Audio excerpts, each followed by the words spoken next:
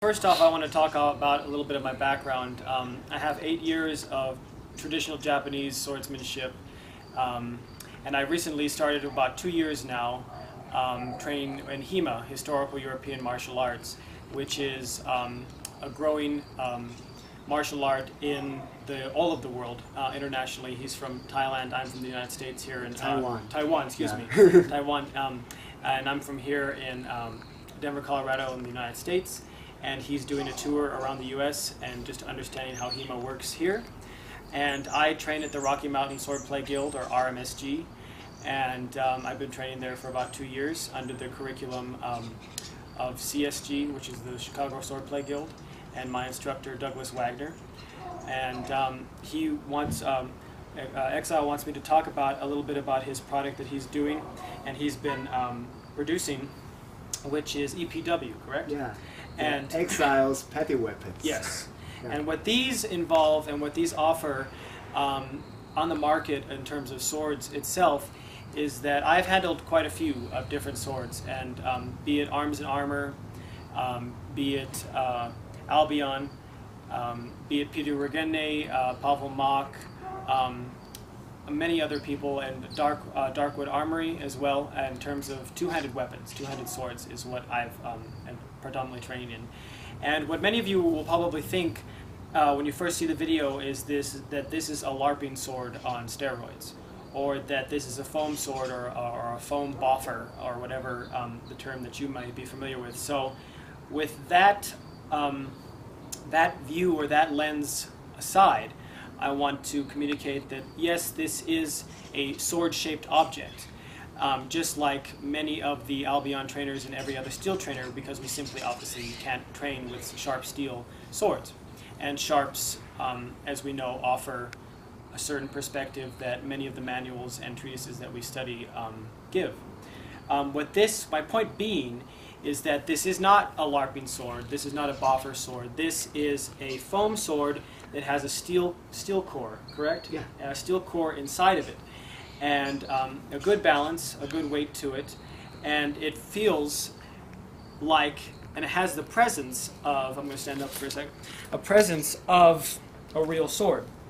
And though it may not be a real sword, and the profile, of course, is a bit different in terms of angleship, this offers something that I believe that other steel trainers don't, in terms of that both, and when you're using both of the product at the same time, they bind and have a grip into each other, much like sharps would in reenacting this. And for safety purposes, many people and many guilds do not train with sharp swords, and for good reason, obviously. And I don't really need to explain why that is Yeah. obvious. Um, so what this can do is not to mention the tip itself is quite safe. So for thrusting things like that, the flex itself is pretty good in terms of the offer that it can, uh, in terms of keeping the steel rigidity that it has because it does have a steel core in it. And as many of you have expressed as far as I've seen in, in videos and preferences in terms of feders or feders, is that you like feders that don't flex as much. This one does not flex as much either, and it's just at the tip itself. So it offers a lot of all the things that steel trainers offer are in this, in this product. And that's what I'm just trying to make this video to present this to you. I'm not saying that this is what everybody should be using, or this is the be all end all for steel trainers or things like that.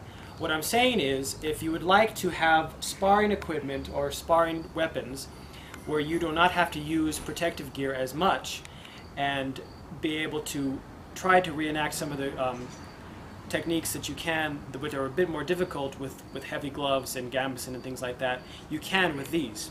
What's great about these, what I've been saying, is that this offers just enough stimulation or pain um, behind the strike, and it also can give you good technique. And what's great about it is that when I'm sparring, when I sparred with him, and I've sparred with these, using these, I could still execute the guards. This still gives me good presence in terms of what I can do with this sword. It has great control, great versatility, and the size of it offers exactly what I need in terms of my personal training. Um, and he can custom make different swords, different type swords, different typologies for you. And so, my statement being is, if you want a product that is safe, to execute proper technique that feels like a real sword, that offers you maneuverability of a real sword, and that can bind somewhat realistically like a sharp sword. Of course, you can't blatantly say that they both are the same because they're simply not. But these products do offer that contact that many of us are not familiar with in our free play and our sparring. Today was the first experience that I ever could actually feel that in free play and sparring, and it was quite an eye opener. And my point being is that these are something that you should probably have in your arsenal in terms of training weapons because they offer something that others don't. It's a, it's a world of, it's a sword that offers the best of both worlds in my opinion. And it definitely is something that's beneficial to whoever would try to consider these and use these. I highly recommend these, not for all of the training, not for everything, but certainly for a very good type of sparring.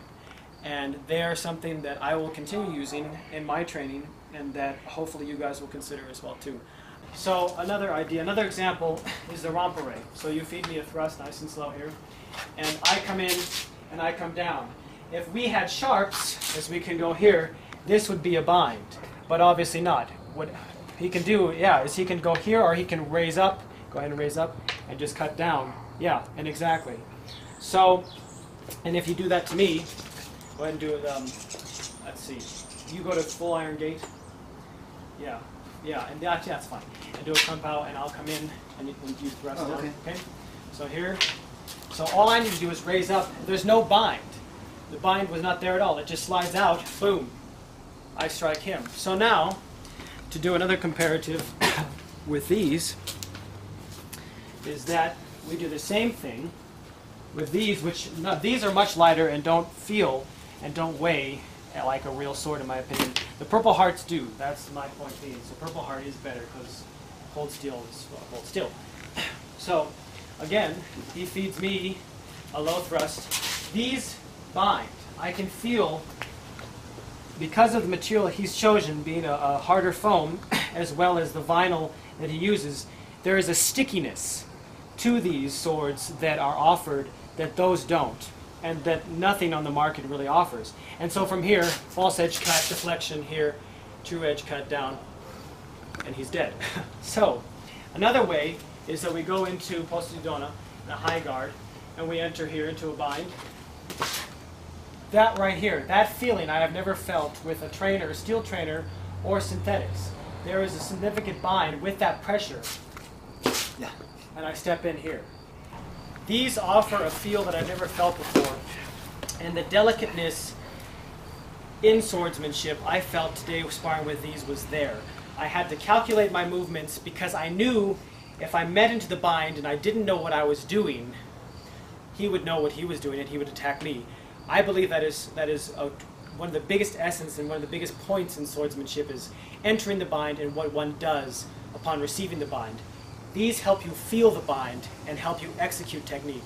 That's the point that I'm trying to make. So these are definitely a great product to have in in your training for historical European martial arts or HEMA. So, uh, maybe perhaps my word isn't considered too much in the sword world right now, but I'd like to think that I have somewhat of an understanding with all the experience and things and people that I've dealt with and swords and stuff I've dealt with in the past that I am I am satisfied and happy enough to say that this is a product that is something that's always been in my mind and it's kind of cool to see somebody being able to do it. So give this guy a chance. This is a really cool product. So thanks.